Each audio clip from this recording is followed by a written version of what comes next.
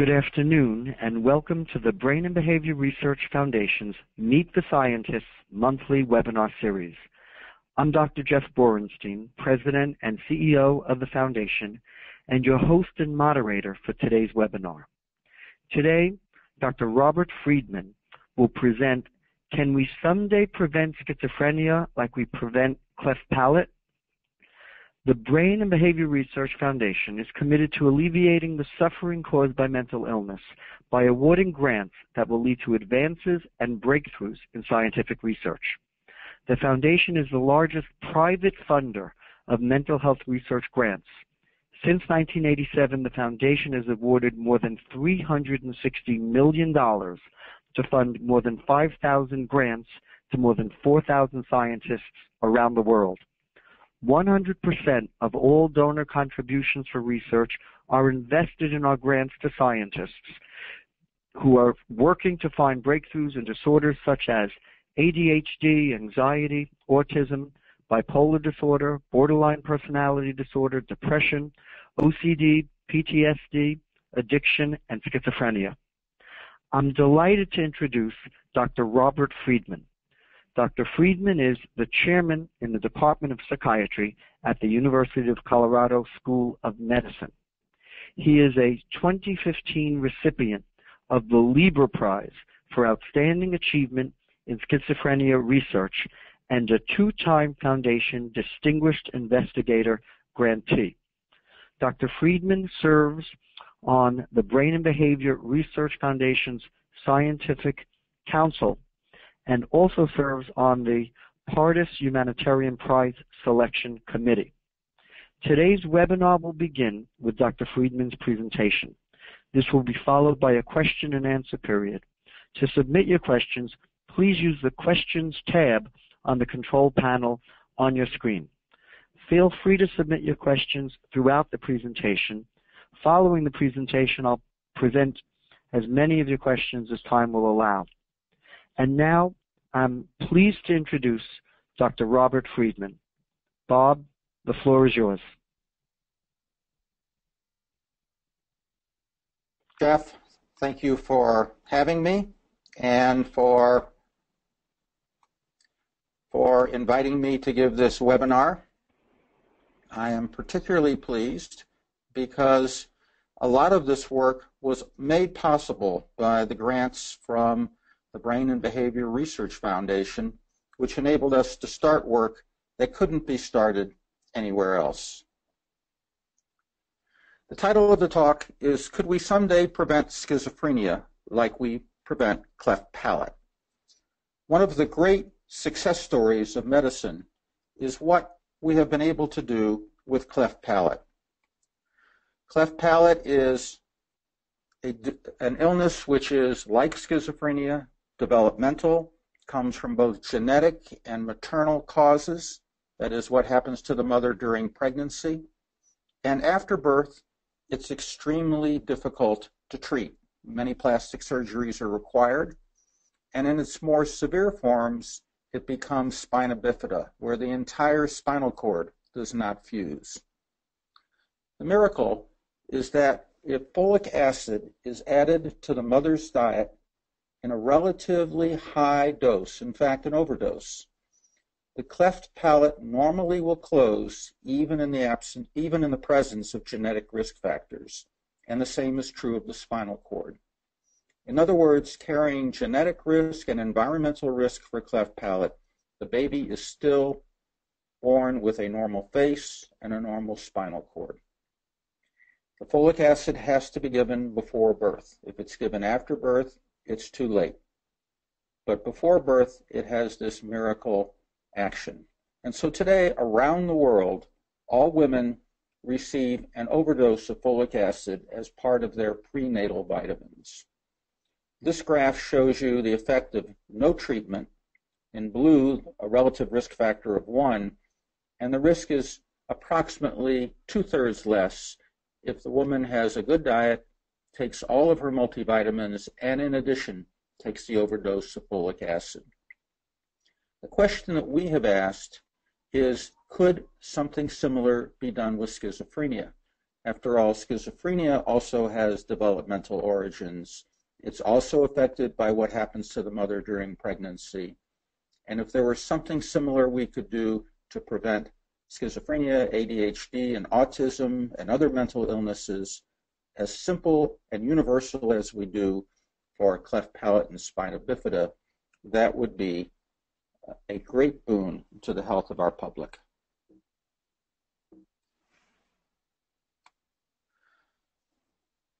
Now, you may think of schizophrenia as something that begins in adulthood, and it's true.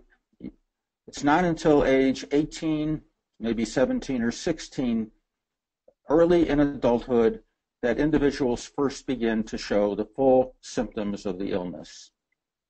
But we know that previous to that in adolescence, there's anxiety, depression, obsessive compulsive disorder, school failure, and individuals who become uh, psychotic do tell us that they have been concealing their hallucinations for some times. And finally, oftentimes the first presentation is a suicide which is the most tragic way, of course, for an illness to start. If we look back even further, we know that these same children have been reporting attention deficit disorder and social isolation. It's often obvious uh, as soon as they are three and a half or four years old. Their parents note it, they report it to doctors. Sometimes the pediatricians will take action. Sometimes they will say, no, he or she will grow out of it. But and sometimes children do, but the ones who become mentally ill do not. And finally, if we look back into the fetal and the newborn brain, as we'll see in a moment, there's often a developmental delay. So although we think of schizophrenia as an illness of young adults, it's actually an illness whose origins go all the way back to before birth. If we superimpose this on what's happening to the brain, we see that by birth, all of the nerve cells have been formed and their first connections have already been made. As the child reaches six to eight years old, there's a blossoming of all the connections. And then in teenage years, there's a pruning back so that only that which is most important, I called it pruning to precision, will persist into adult life. And so this evolution of symptoms from fetal developmental delay through ADD in childhood and social isolation to the beginnings of the prodrome of schizophrenia in adolescence to the full symptoms is superimposed on this kind of brain development and the development of other aspects of brain function. And so we think of two developmental illness, two developmental models of illness. One is unfolding. Hidden deficits, deficits that have come before birth that do not emerge until the person develops a full brain capacity. There isn't much that an infant can do to show us that it has a mental illness, and that may need the development of the full brain capacity to unfold what all of its problems actually are. Just as talents unfold, so unfortunately does illness unfold across the lifespan. The other possibility is the multiple insult, or sometimes called the two or three hit model. Maybe the first hit does occur before birth, but then a second hit during childhood, perhaps a brain injury, perhaps a trauma, uh, perhaps even substance abuse, then becomes devastating. Either way, persons who will develop schizophrenia cannot be identified until they actually have the illness. As I said, we can't identify it in illnesses. And like cleft palate, once you see it, it may be too late to fully prevent it. So we think of three kinds of prevention. The first is primary prevention. Primary prevention means you intervene as soon as possible. In this case, we're going to talk about interventions during fetal brain development before you know that anyone even has the possibility of illness. So examples of primary prevention are folic acid, uh, as we've been discussing, or vaccines. These are things that are given to everybody. We don't wait until there's a risk for someone becoming ill they're safe enough and effective enough that we give them before they're actually needed, before the illness itself can even start. Then there's secondary prevention. That would be intervention in adolescence, when the first signs of schizophrenia are just being shown.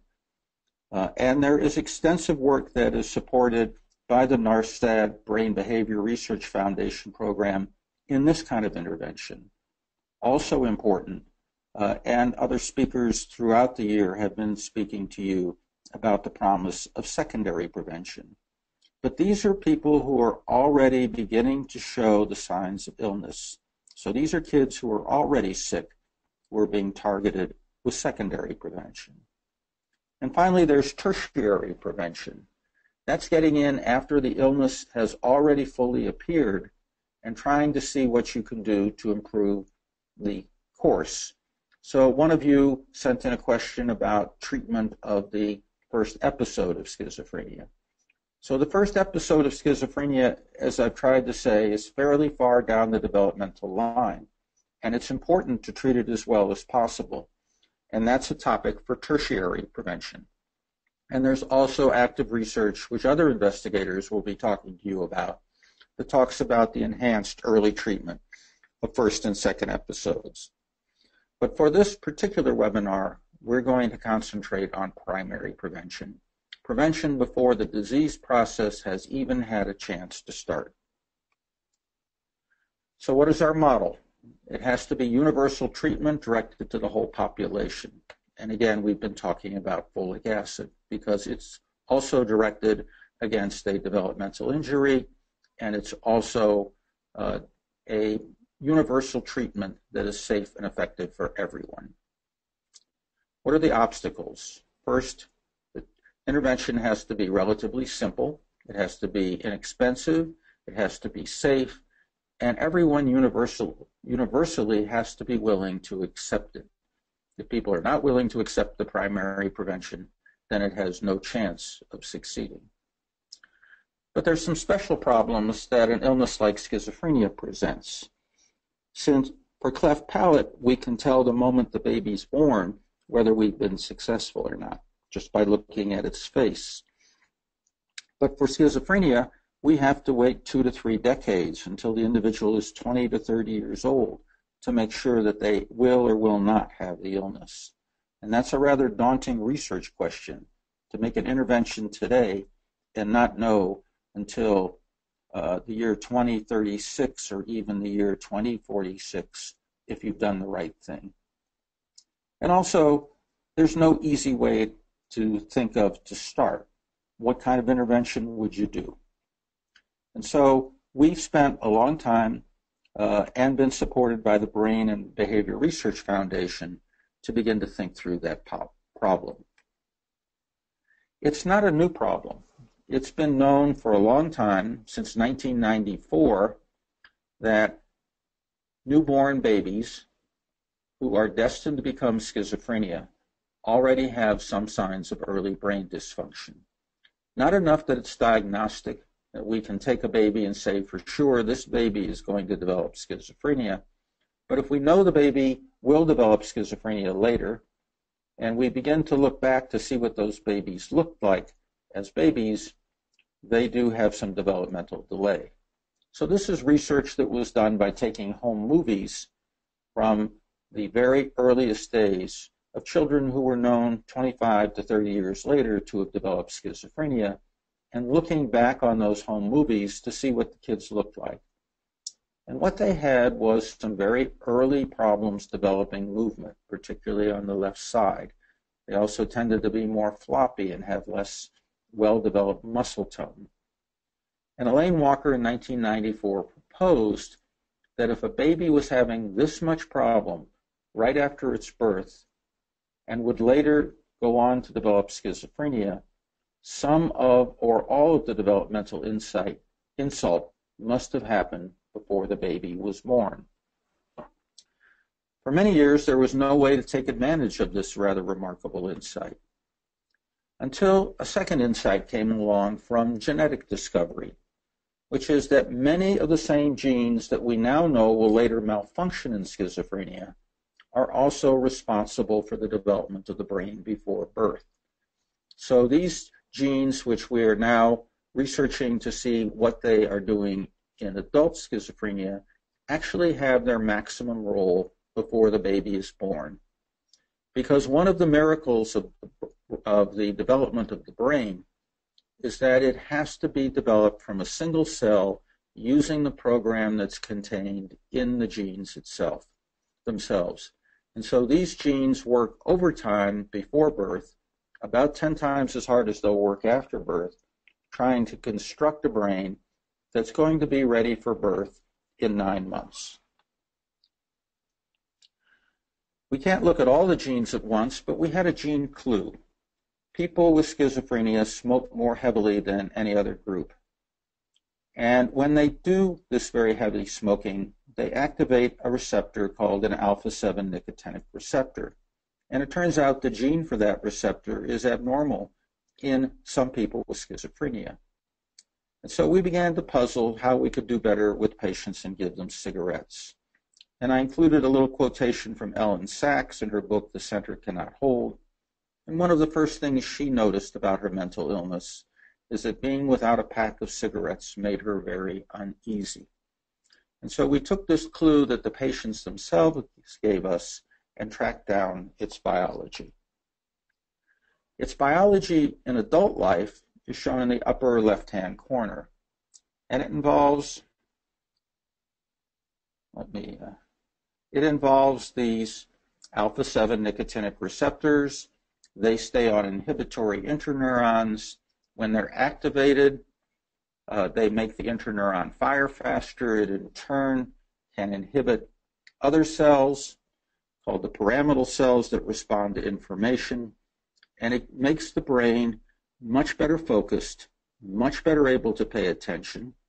And it inhibits some of the noise and extraneous environmental sounds around the patient that sometimes become part of their hallucinations and delusions.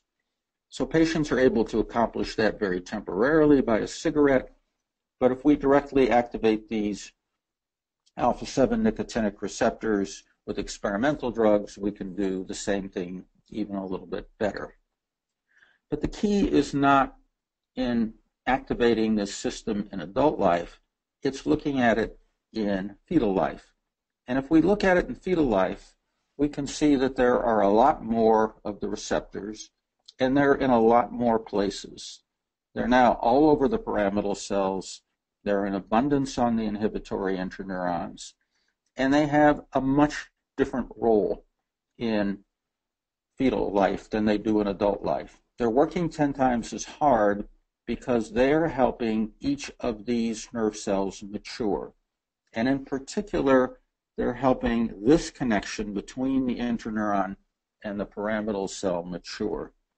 And that maturation is never quite complete in people who will develop schizophrenia.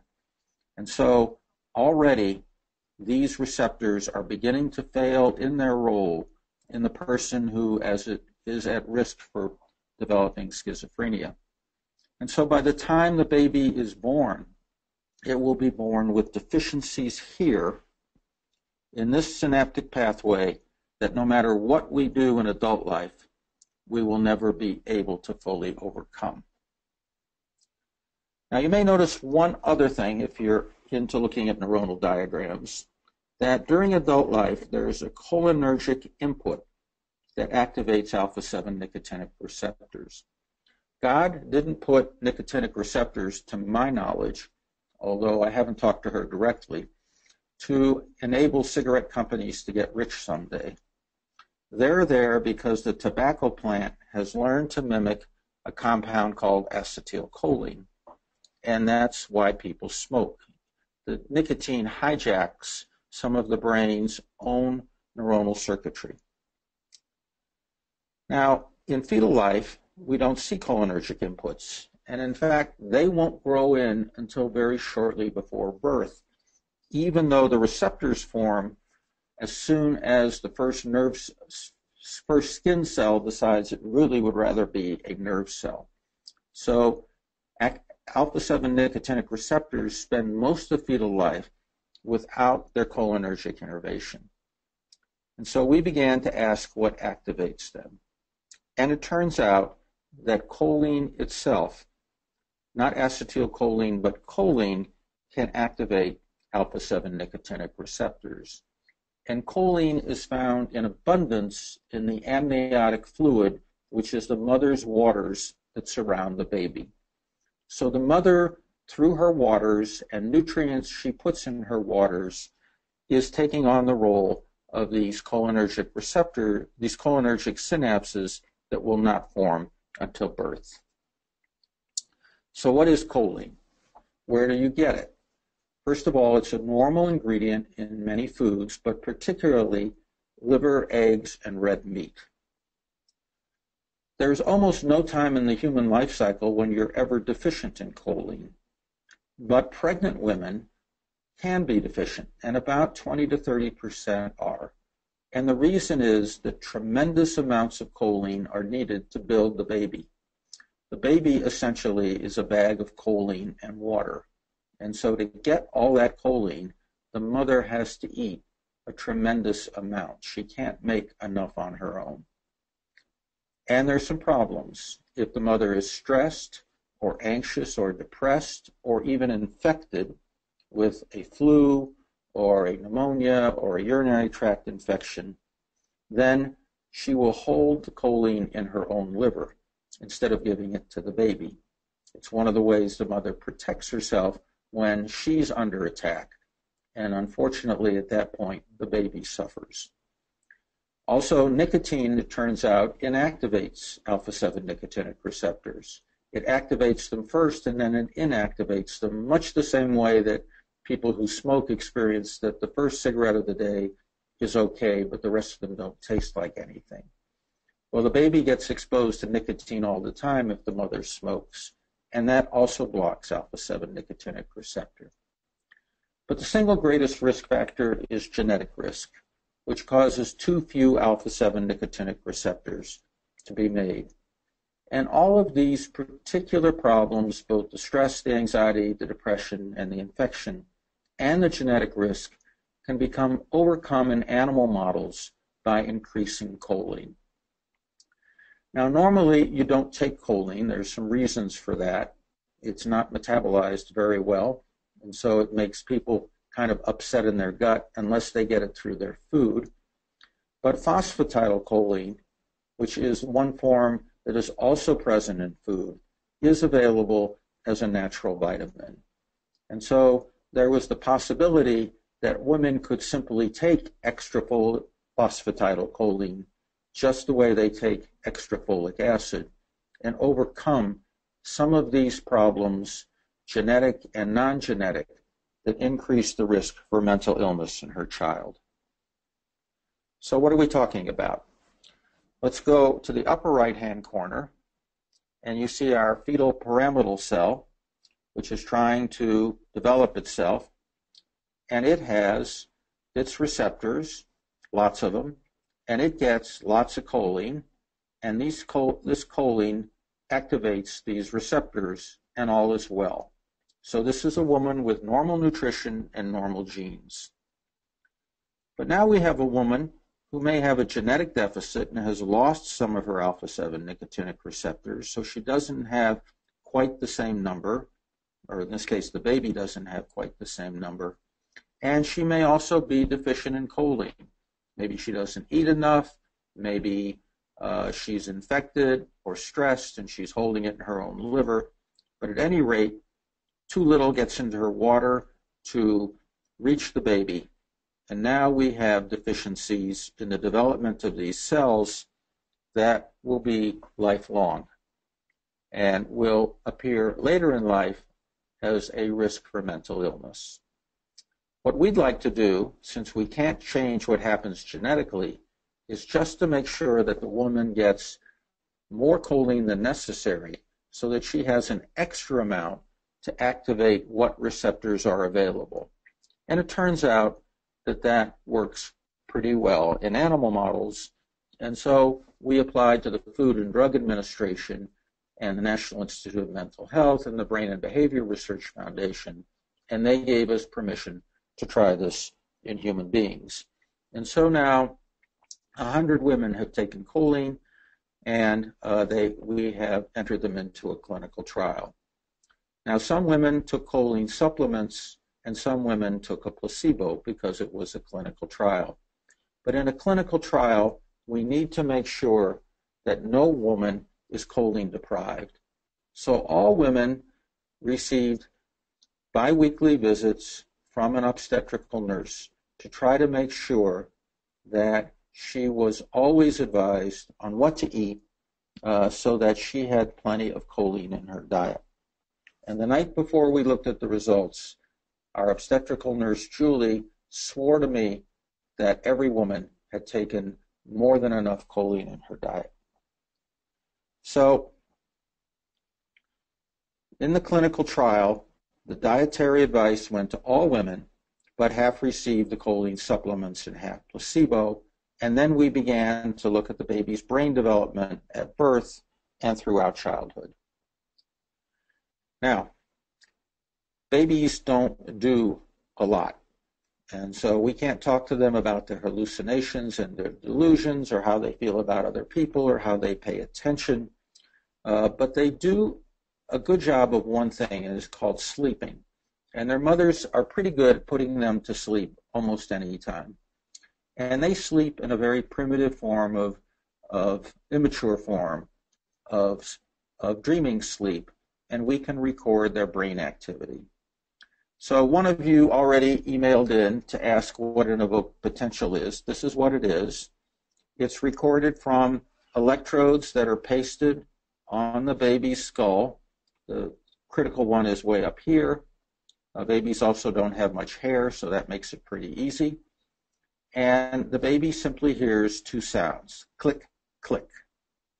Now, if the baby is the baby of a psychotic mother and is at genetic risk for later psychosis in its own life, already at birth, it's responding to both clicks. Click, click, and we see large potentials.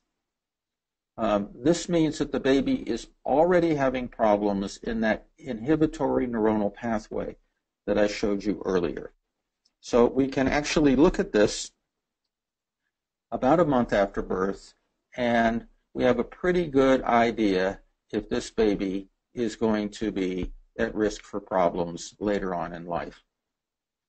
It doesn't mean that every baby who has this problem will have problems later in life, but the risk is greatly increased. Now, if we treat the baby with choline, it responds to the, or its mother was treated with choline, it responds to the first sound, and it has a diminished response to the second sound. And that's a more normal pattern. And we do see lots of babies who come out of pregnancies where we haven't intervened uh, who have this normal pattern but they're much more likely to have it if their mothers have been on choline. And those infants who were treated with placebo, but whose mothers swore they ate a good diet, were much more likely to respond to the first sound and not inhibit the response to the second sound. You may notice the potentials are also a lot more rounded, uh, and so there are immaturities in other ways that we can detect within the evoked potential as well. So what we're doing is looking at an electrophysiological a brainwave signature of what this baby's brain is going to function like. And if we move forward 20 or 30 years, this baby's brain may continue to look like this and it may develop a psychosis. And if it looks like this, it's much more likely to be normal. Now, most people don't care a lot about what their baby's evoked potentials look like, and they're difficult to record, but parents are very good at observing what their babies look like. And at 30 months of age, parents can reliably rate their children's behavior. And so we asked the children who were the parents of the children who were in our trial where we measured the brain waves now at 30 months to tell us how their ch- children behaved and they noticed improvements in two areas. One of them was social withdrawal. So these are babies who got prenatal choline, they're now three to four years old. They're much less likely, the babies who got placebo, to be socially withdrawn. So they're able to play with their friends. They're not likely to sit in a corner by themselves and not interact with others. They're also less likely to have attention problems. They're better able to pay attention to what goes on around them and to concentrate. Now, the reason to look at 30 months of age is that not only can parents reliably relate their ch- child's behavior, it's also very predictive of what the child will look like throughout childhood and early adulthood. Another research group asked parents of, of adults who had developed schizophrenia to tell us what they looked like at 30 months old. So here's Russell Crowe in The Beautiful Mind, uh, who has gotten chronically paranoid in the movie. And people with adult schizophrenia, when they were three to four years old, had lots of social withdrawal and lots of attention problems. So, what we think we may have done at 30 months of age by intervening with choline before the baby was born is that we have moved back the needle of risk for these babies away from a pattern, should they have been vulnerable to it, of developing adult schizophrenia and towards a, a direction which is more normal. And we've done it simply by increasing one of the nutrients in the mother's diet. So let's go back and look at folic acid one more time. Is the dietary supplement of folic acid really needed? Or could you do it with good diet alone? With the folic acid, good diet and vitamins alone without folic acid did have an effect compared to no treatment whatsoever, but a relatively small effect. And if folic acid were added, even in the absence of a good diet, you got most of the effects of folic acid in terms of preventing cleft palate. And adding a good diet then was not harmful and certainly helped a little, but most of the effect came from the supplement.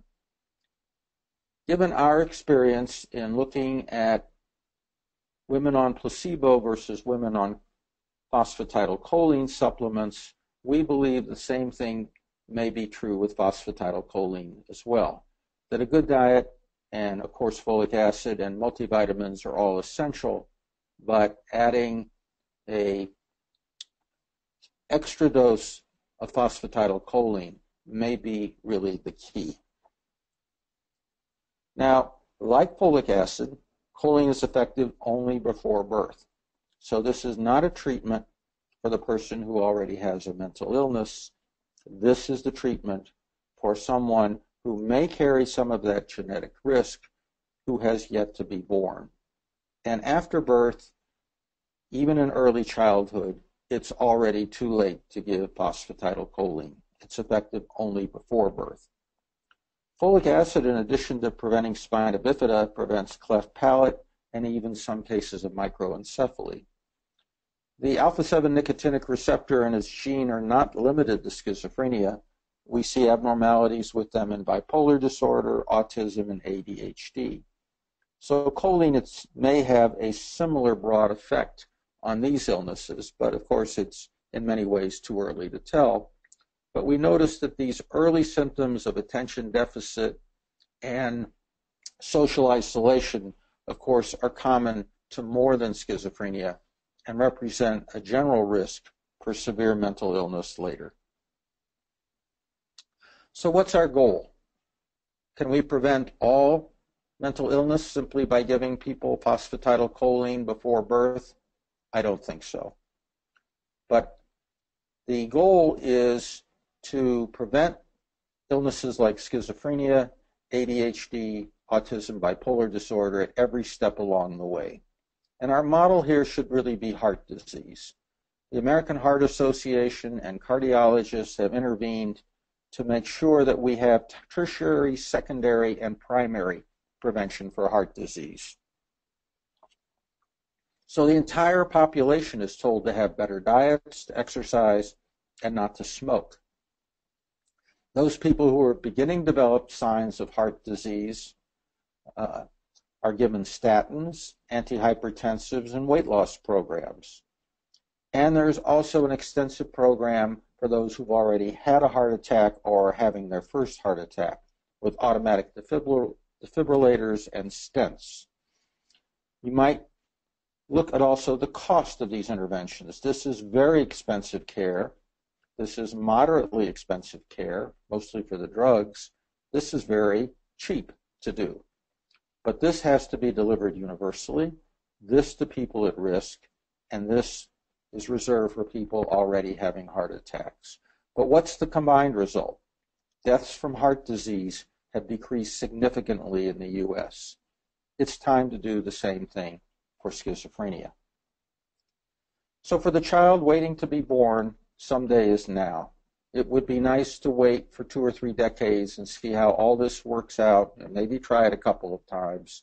But that would be 40 to 80 years from now. And for a child who is about to be born, there's only one chance in life. And so we present this material to the public so that they can make the most informed decisions. If you want more information, there's a website, prenataldoctoradvice.com, and you can go there and get much more detailed information on what the research shows and if you you and your doctor decide that this is an intervention you'd like if you're thinking about having a child or pregnant already, then there's advice for that as well. So thank you for tuning in. I understand we have people from all over the world, and we hope that this will be someday an intervention or something like it that will be helpful for the peoples of the world. Bob, thank you for a, a very clearly stated uh, presentation and really an explanation about how we can go from basic research to translational research to um, potentially significant methods of prevention of illness. Um, so uh, a first question is, um, does during what period of pregnancy were um, were the women given the supplement? The, these women in the clinical trial received it for their second and third trimesters. Now, that's primarily an artifact of the way research is done. We have to identify that people are pregnant, get their informed consent, do some preliminary screening. So far as we know from the animal model experiments, women can take this intervention before they decide to get pregnant. We give, we give it to the animals in our animal models before they're impregnated. So it's never too early to start. We also think it's never too late to start. But the ideal time probably is during the second trimester when the brain is really undergoing a great deal of, of development. Were there any side effects? Are there any potential concerns about um, taking the supplement during pregnancy for the women or for the for the baby? Right. So the dose that we recommend is about twice the normal dietary dose, and it's far under what the U.S. Department of Agriculture and the National Academy of Medicine recommend as the upper level, level of safe uh, choline exposure. Remember that this is a food, so you are exposed to it all the time. We're simply increasing one of the nutrients in food. The potential side effects are primarily uh, to be gassy and sometimes a malodor. Um, and that generally occurs in people who try to take choline supplements as opposed to phosphatidylcholine supplements. The mothers in our uh, study had no uh, serious side effects from the medication. And I, I just want to reiterate what you said very clearly. In this particular study, you, the controls were, you know, um, carefully given guidance to to make sure that they had proper nutrition. And in the general population, there's a percentage of people who who don't have that, and so the results would be even more um, emphatic if we if we looked at that population. Obviously, in a research study, you want to make sure all of the mothers are getting the proper diet. Exactly, and and we saw a trend for the mothers who got placebo to be doing better in terms of their pregnancies than mothers in the general population. Okay. But the um, adding the supplement still trumped uh, giving women good dietary advice. Right, right. That that was an added benefit. And um, you spoke about other conditions above and beyond schizophrenia. Could you tell us a little bit more about what other conditions might be prevented um, through this intervention? Sure. We don't know for sure, but we know that the developmental pathway we're looking at is one that's common to several illnesses. It's common to bipolar people who become psychotic, which is about a third of bipolar people. It's also a prominent developmental pathway in late appearing autism, and it's also a prominent developmental pathway in ADHD. So all those illnesses are potentially in play as being preventable or ameliorated by this particular intervention. The now I, I know that you are not in a position to give advice to an individual person, especially if you haven't met them. Um, what should people think about when this? Obviously, they would speak to their physician, but what what would you recommend as a general rule a person's thought processes be about making a decision like this? Well, I think that with anything that's new, you have to uh, wonder about what's new, and um, I would feel more comfortable if it had been around for 20 or 30 years and we knew it worked. Um, you obviously want to check with your physicians, and we're uh, spending a lot of time making sure that physicians have the latest information on this intervention. Uh, then you want to begin to think about uh, that this may be a once in a lifetime opportunity for your baby. I think it's a very uh, tough decision and women have to think a great deal about it. Uh, all we can do is present the facts and let each woman make up her own mind. But um, for myself, I think I would recommend it if the mother would ask what I would recommend. Okay, that's very helpful. And I guess that in particular for people who may have a family history of schizophrenia, um, that would perhaps add to the sort of weight on, on the side of um, trying this intervention? I think it would. I think, though, you have to remember that um, many cases of schizophrenia, the family history is remote or not obvious or not even known to the mother who's expecting. So, uh, again, universal uh, prevention in the end means that everyone uh, should feel encouraged or um, feel that the intervention is worthwhile and get it.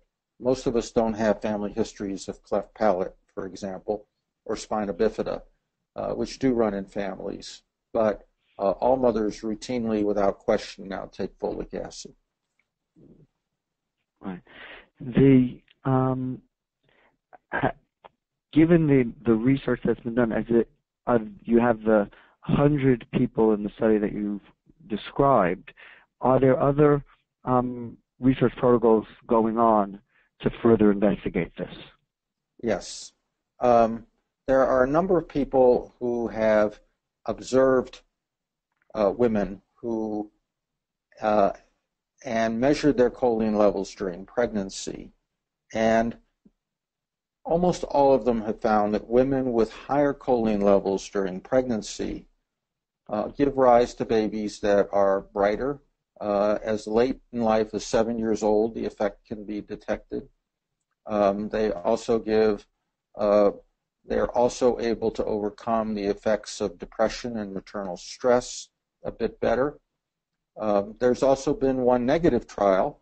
Uh, in that trial, uh, the women were very highly educated, and those who were told, and everyone was told to get dietary supplement to to eat the right diet it turned out the women on the placebo did an even better job of eating the right diet than uh, than the women who actually received the choline.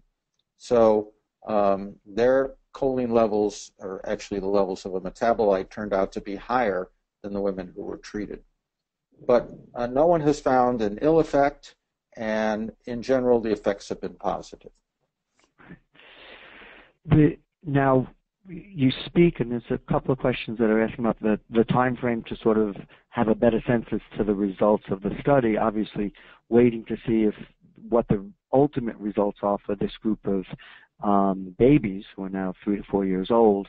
Um, it, is is it your sense that you'll have um, some more indication as they reach their teenage years? You know, how are you monitoring it to see what the what the results are over time to give even stronger evidence, even before they're 25 years old, let's say? So uh, this is a very small group, and we are currently undertaking a trial with a larger group. Uh, at the moment, this is not an intervention. The, the National Institute of Mental Health has said that this is an intervention that they will not fund more work on. And so we are relying, relying on private foundation, in particular the Institute for Children's Mental Disorder and the Anschutz Foundation, to fund a second trial. And um, we also, through our website, have a way for women to tell us if they've taken choline or not, uh, and so that we can follow their children. But all we can do is over the next 20 years or so accumulate the histories of as many women who've taken choline or not taken choline to see what happens to their babies. There never has been a research project which has successfully looked forward in time for 20 or 30 years. And of course, even if we're successful, it will be 20 or 30 years from now before we know the answer, probably long after I'm gone. Um, that makes the decision of a woman today um, even more complicated. But unfortunately, that's just the fact of life of the human life cycle. It takes 20 or 30 years to be sure that a particular dose of choline, phosphatidylcholine, given to a woman during pregnancy will actually prevent her child from having a mental illness. The evidence looks good. We'll follow children all the way along through their development and, of course, report those results as they come in. But there's no way we can make the children grow any faster than they're growing. The uh, so really it is time will tell. On the other side of the, the time frame of this, you, you describe how the early work and, and the thinking behind developing this hypothesis and then developing this experimental approach. How long ago did you start that? What was the flow of your thinking to get to the point where you began um, this particular study uh, a couple of years ago, looking at the effect of the choline supplement? It occurred because we were spending a lot of time looking at uh, new drugs that would affect alpha 7 nicotinic receptors in adulthood. And one morning, as I was thinking about where we had retrieved the alpha 7 nicotinic gene from, I realized we had retrieved it from a fetal brain library. In other words, a collection of DNAs that had come from a fetal brain. And I asked our molecular biologist, why did we use a fetal brain library to clone this receptor? And she said, well, it's obvious. There's much more activity of genes before birth than there is after birth. And then it struck me like a thunderbolt. We had been intervening in the wrong time of life to try to correct problems that are caused by deficits in the alpha 7 nicotinic receptor gene. By the time the baby is born, most of the ball game is over. Uh, if we're actually going to intervene, it would have to be done before birth. And we then began to get help from other people who had studied phosphatidylcholine because we realized that choline was what was activating the nicotinic receptors. We understood that from our work in trying to understand the receptor in animal models. And when we put all of that together, we realized that women can be choline deficient and that there were a number of investigators who were already suspecting that increasing maternal choline levels would have a very beneficial effect on fetal development. What we added is that it might also prevent mental illness. So this is something that people had already decided was good for babies, um, and uh, we thought it would also be specifically helpful for preventing the signs of mental illness. The um, it, very good explanation about the thought processes that, that got there. Um, there's a, a, question that that one of our uh, viewers are asking about. Um, is there information about uh, risk or greater risk in the children of vegetarian mothers who may have more difficulty getting the proper amount of choline in their diet. Right. So, of course, it depends on what kind of vegetarian and how strict the vegetarianism is. Um, one of the graduate students who helped us on this project uh, and I used to do an experiment together on one of our mouse models uh, every Tuesday morning. So she would get in early and she would do all the preparation, and I would lecture to the medical students, and then about 11 o'clock I would go by the uh, food store and I would buy her a pemmican bar because she was a vegetarian, and I would buy myself a tuna fish sandwich. And then we'd sit and eat and do the experiment. That's no longer allowed to eat in laboratories, but we used to do it. And one morning I came in with my tuna fish sandwich and her pemmican bar, and she said, I don't want that. And she produced a giant roast beef sandwich. And she said, I'm pregnant and the baby is calling to me. Um, so women do uh, vary their diet, but I know that there are many women who do not. Uh, vegetarianism itself is not particularly known to be a risk factor for mental illness, but uh, when women are vegetarians, it's difficult to get enough phosphatidylcholine. It is rich in soybeans, and women who take soybean granules uh, can take enough, and we have recommendations for vegans on our website as to how to use soybean granules or to take uh, phosphatidylcholine containing capsules as a way of getting this nutrient that uh, is not present in most vegan diets. Uh, they may also want to check a few other things that sometimes it's difficult to get in a, a vegan diet, such as iron, which the baby will also need uh, some extra help with. But uh, we don't think that there's anything that uh, makes this intervention incompatible with being a vegan. And I should add that uh, all of the uh, phosphatidylcholine that is actually sold as supplements is vegan uh, because it comes from soybeans. You simply can't eat enough soybeans to give yourself enough phosphatidylcholine every day, but um, when you're pregnant, but uh, enough can be extracted from them by relatively safe means to get uh, enough phosphatidylcholine to be given as a supplement. Okay. Uh, um, are there any other uh, areas that you're looking at similar to the choline um, as uh, additional uh, potential um, interventions for prevention? Sure. Uh, choline, uh, phosphatidylcholine is not something that prevents all aspects of maternal risk for mental illness in the offspring. And one of the reasons we want people to check with their own doctors is to make sure that they don't make that mistake. So uh, we recommend a number of things to pregnant women, which are effective and we think which will prove to be effective in decreasing mental illness later in life. Those include a good multivitamin preparation, in addition to the folic acid supplement. Those usually come together as one tablet. Um, the mother needs to have her iron checked and make sure that she's not developing diabetes uh, which can occur during gestation. Those are also risks for mental illness. We ask that all mothers stop smoking uh, and stop all drug use. That's critical. And it's also critical that mothers protect themselves against infection. So one of the things that a mother certainly can do uh, and should do is to have a flu shot early in the season to protect herself against the flu. When the mother gets the flu, the baby doesn't get infected, but the mother begins a reaction to the flu, uh, which she can feel is that icky feeling you get when you're about to come down with the flu.